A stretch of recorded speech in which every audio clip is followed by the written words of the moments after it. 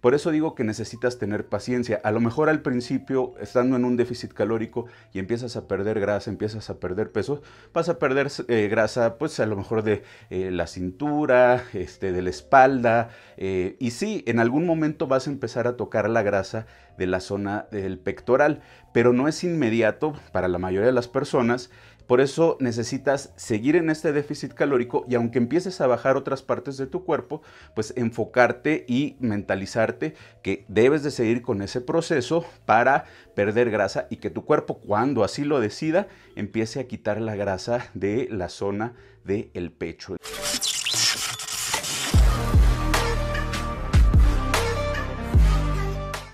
Eh, hay que saber separar, ¿no? Y no todo eh, el tiempo es una solución, eh, bueno, más bien, es, es, una solución a largo plazo.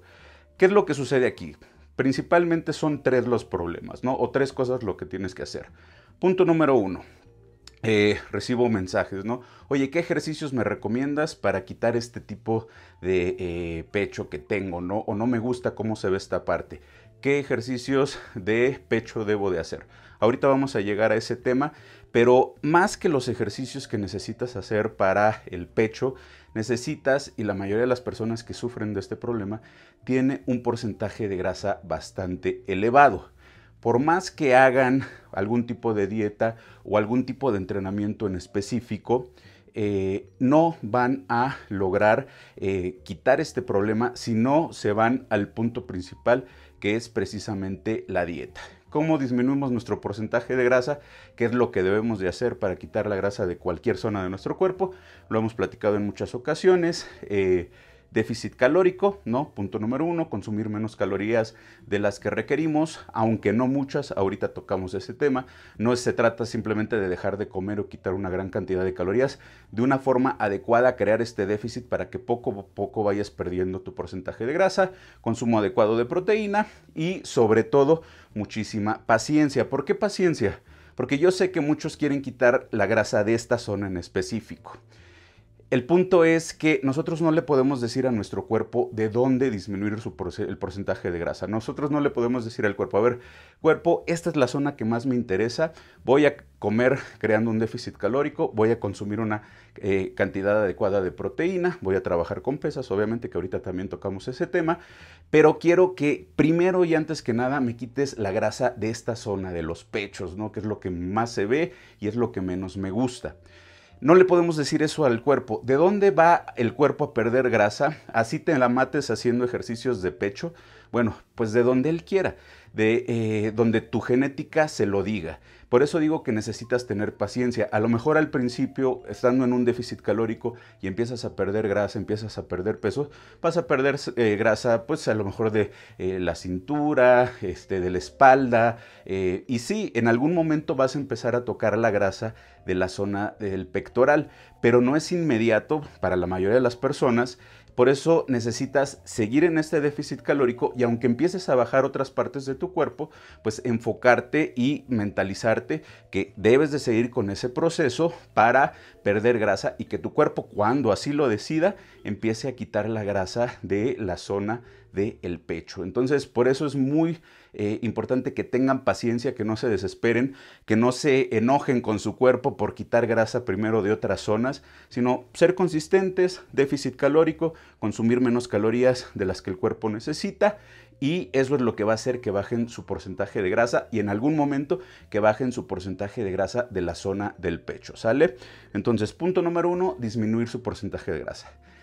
Punto número dos, aumentar sus niveles, eh, sobre todo de testosterona. Esto es muy importante para que este problema eh, se solucione. ¿Cómo podemos hacer esto de forma natural? Bueno, eh, hay varias formas, ¿no? Principalmente teniendo un sueño reparador y suficiente horas de sueño. Hay varios estudios que nos demuestran que si el sueño es insuficiente y no duermen la cantidad adecuada de horas, que cuánto es el tiempo adecuado, cada persona es diferente, pero en general entre 7 y 9 horas, realmente que tú duermas y te sientas recuperado, te sientas descansado. Si no duermes lo suficiente y todo el tiempo andas con sueño y comiéndote horas de sueño, tus niveles hormonales de testosterona van a bajar muchísimo. Entonces, duerme bien no te estreses, va relacionado con lo mismo. haz ejercicio, sobre todo de pesas. Ahorita tocamos, repito, ese, ese tema. Y les comentaba, sí hay que crear un déficit calórico para que disminuya su porcentaje de grasa, pero hay que crearlo de una forma adecuada. Si ustedes necesitan, por poner un ejemplo, 2.500 calorías y su déficit calórico es de 1.000 calorías y solamente están consumiendo 1.500 calorías, sí van a perder rápido, van a disminuir su porcentaje de grasa, pero como lo hemos comentado en otras ocasiones, corren el riesgo de perder masa muscular y otro factor muy importante es que es muy rápido sus eh, niveles de testosterona van a disminuir. Entonces, sí hay que tener un equilibrio. Por un lado, tener un déficit calórico adecuado, que aunque sea un proceso más lento, más tardado, les va a ayudar a tener una buena cantidad de calorías. ¿Para qué? Para que precisamente sus niveles hormonales de testosterona no disminuyan muchísimo.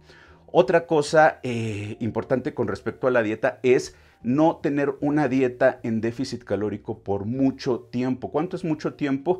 Bueno, 16 semanas, 20 semanas, medio año en déficit calórico.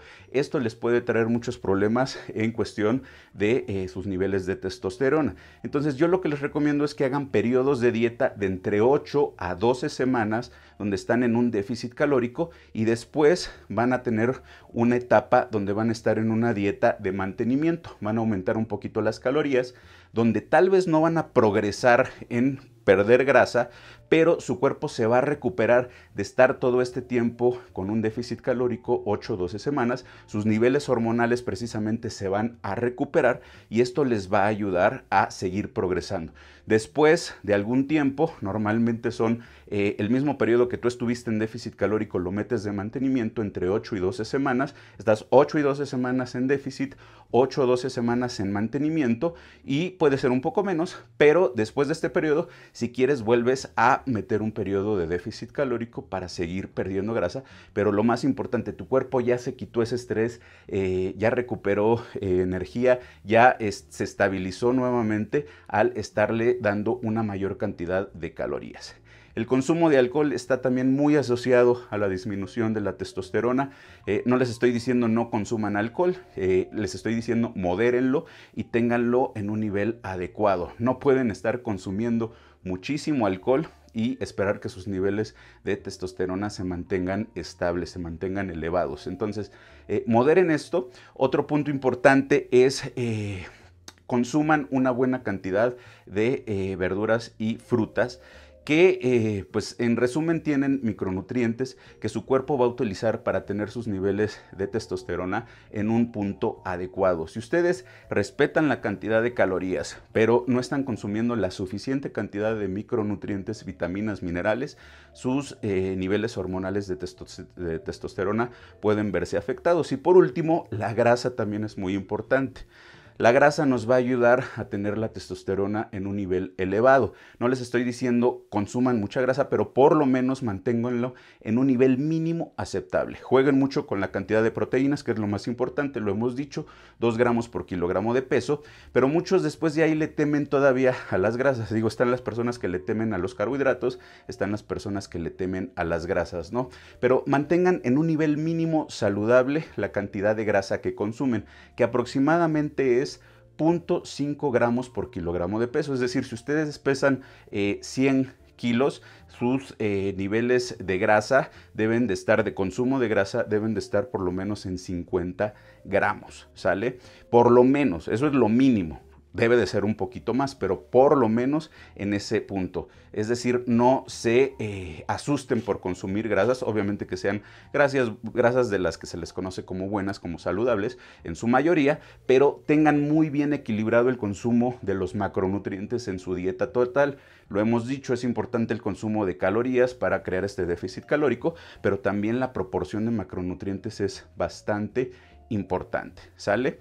Y bueno, con esto vamos a tener un nivel de eh, esta hormona de la testosterona en un nivel normal, elevado, saludable, que nos va a permitir acabar o disminuir este problema.